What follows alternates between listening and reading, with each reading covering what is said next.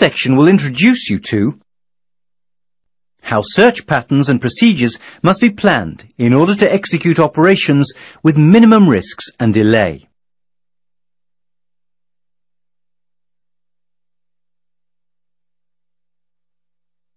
Standard search patterns have been established to meet varying circumstances. When planning the search, the following factors should be considered. Establish a datum, i.e. a geographical reference for the area to be searched.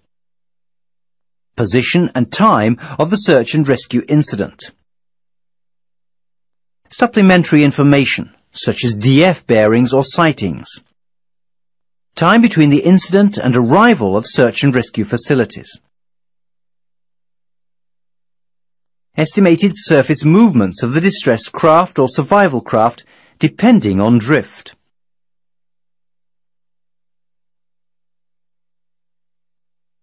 For visual search purposes, individual search patterns should be designed so the on-scene coordinator can rapidly initiate a search by one or more craft. The following parameters should be remembered. A number of variables cannot be foreseen. Search patterns based on visual search are expected to meet many circumstances. The main focus behind visual search pattern design should be on simplicity and effectiveness.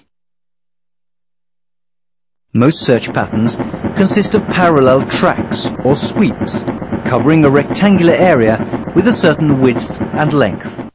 The distance between adjacent tracks is called a track spacing. Recommended uncorrected track spacings for merchant vessels are provided in tables. Correction factors based on weather conditions, number of assisting craft, and search object are available in correction tables.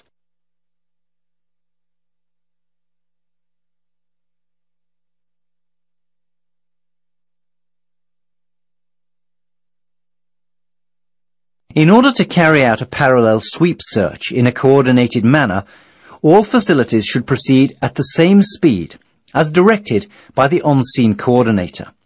The search speed should normally be the maximum speed of the slowest ship participating in the search. In restricted visibility, the on-scene coordinator may order a reduction in searching speed. A search area can be plotted by the following procedure. Draw a circle with radius 10 nautical miles centered on the datum with required radius. By using tangents to the circle, form a square. If several facilities will be searching at the same time, divide the square into sub-areas of appropriate size and assign search facilities accordingly. There are several possible search patterns that can be used for execution of a search. Which type to select for a particular search is normally decided by the on-scene coordinator. The expanding square search is normally selected when the location of the search object is known within relatively close limits. The commence search point is always the datum position. Small boats are used for search of persons in the water or other objects with little or no leeway. The following should be observed when using the expanding square search area.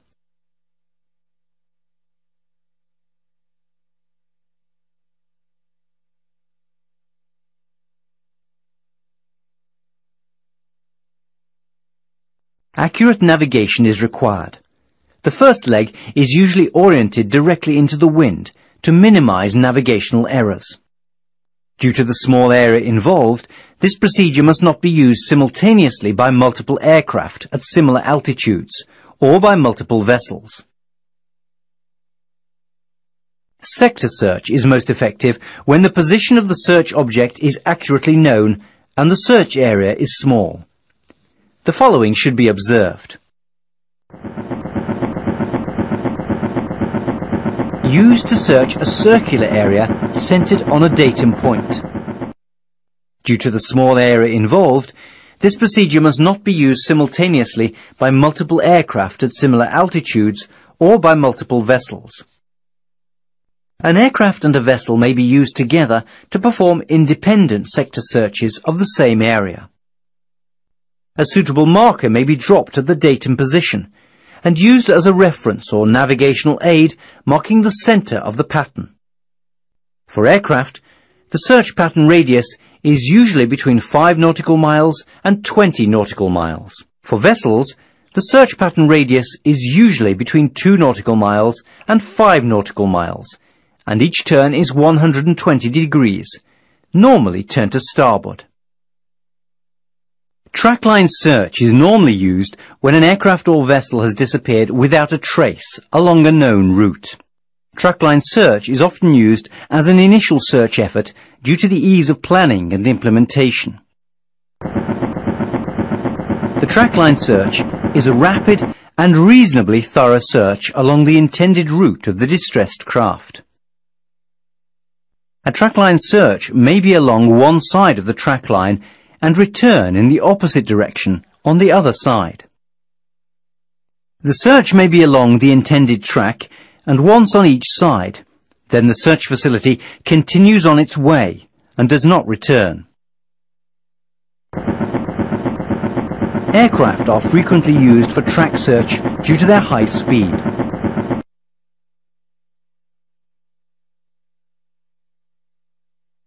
The parallel sweep search is used to search a large area when survivor location is uncertain. The following should be noted. It is most effective over water or flat terrain. It is usually used when a large search area has to be divided into sub-areas for assignment to individual search facilities on scene at the same time. The commence search point is one corner of the sub-area one half-track space inside the rectangle from each of the two sides forming the corner. Search legs are parallel to each other and the long sides of the sub-area.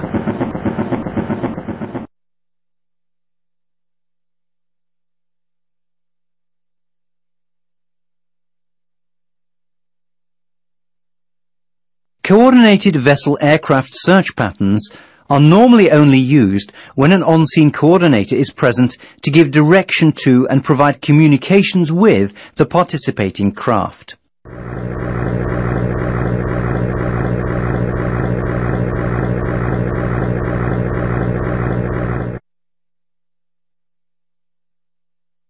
A search pattern called creeping line search coordinated is often used when an aircraft and a vessel cooperate on a search.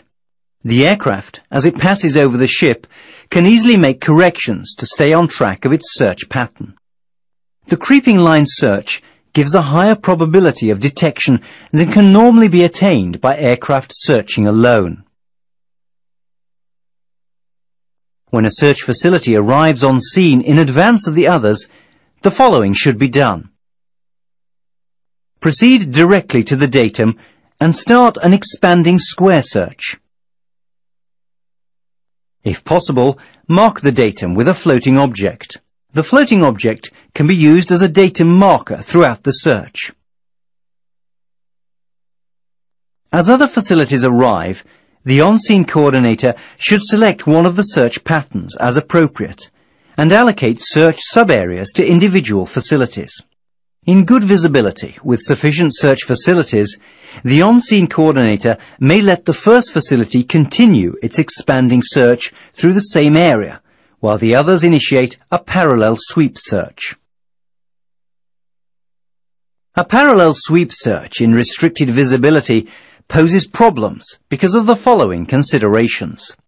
The desirability of reducing the interval between search and rescue facilities as much as possible, consistent with safety the resulting loss of search area coverage, the potential risk of collision.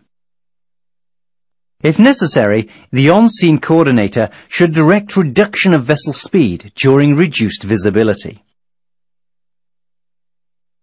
When several assisting ships are available, a radar search may be effective, especially when the position of the incident is not reliably known, and search and rescue aircraft may not be available.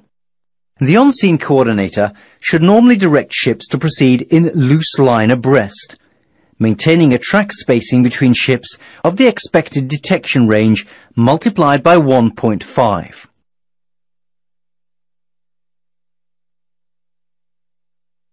An aircraft search over land differs from maritime searching in that it is usually more difficult to locate search objects.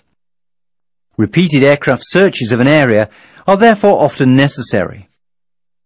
Search of large areas by ground facilities alone is usually not practical, but may be effective for close examination of a small area.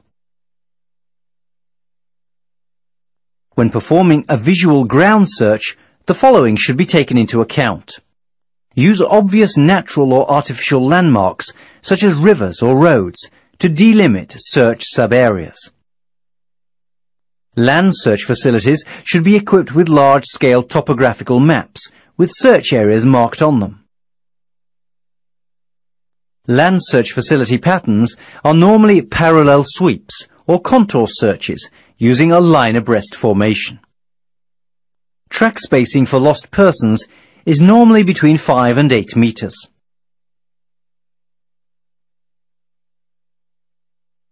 The Search and Rescue Mission Coordinator, or On-Scene Coordinator, should provide information to search and rescue facilities on relevant details of the distress and all instructions prior to the conduct of search and rescue operations.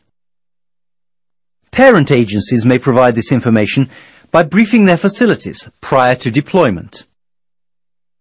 Debriefings of search and rescue facilities provide valuable information on the effectiveness of the search and can influence planning on the next search.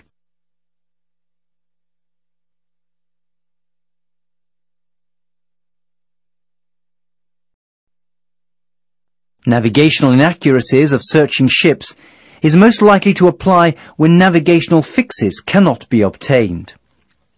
In this situation, the on-scene coordinator may research the same area, allowing for added drift during the time elapsed since calculating the last datum.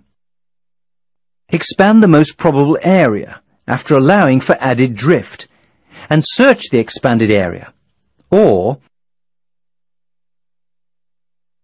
expand the area more in one direction than another, depending on the circumstance and the information available. The on-scene coordinator should remember a small search object, which is easily missed in daytime, may become visible at night if it shows lights, flares, or other pyrotechnics. The on-scene coordinator should, therefore, consider using surface craft at night to research areas covered by day. It is good practice when searching for survivors in small craft in survival craft or in water to stop the engines occasionally at night and in restricted visibility by day to listen for cries for help. International regulations for preventing collisions at sea continue to apply fully while carrying out searches. In order to conduct coordinated search patterns, the on-scene coordinator should transmit a limited number of maneuvering instructions by the most appropriate means, and in plain language when practicable.